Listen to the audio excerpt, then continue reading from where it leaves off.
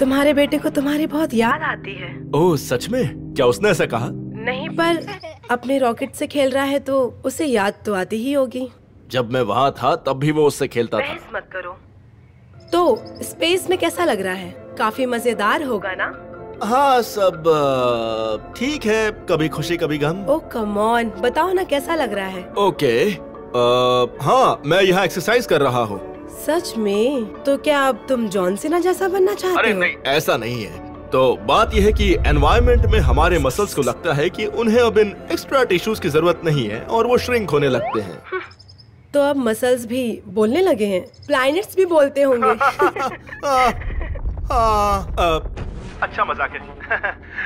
तो मेरे कहने का मतलब था कि मेरा एक्सरसाइज करना ज़रूरी है वरना जब मैं घर वापस आऊँगा तो एक पिचके हुए टमाटर की तरह दिखूँगा। और तुम्हारी हड्डियों का क्या? उसके साथ भी यही इशू है। अगर मैं स्पेस में वर्कआउट नहीं करूँगा तो हर महीने मेरी बोन डेंसिटी लगभग एक परसेंट कम होती चली जाएगी। तो हाँ ऐसा हो सकता है की घर लौटने पर मेरी हड्डियाँ टूट जाए। वाओ खैर तुम अपने बॉडी का ख्याल रखो। तुम्हें पता है ना मैं तुम्हें कितना मिस करती हूँ। तुम हाँ, समझ रहे हो। ना?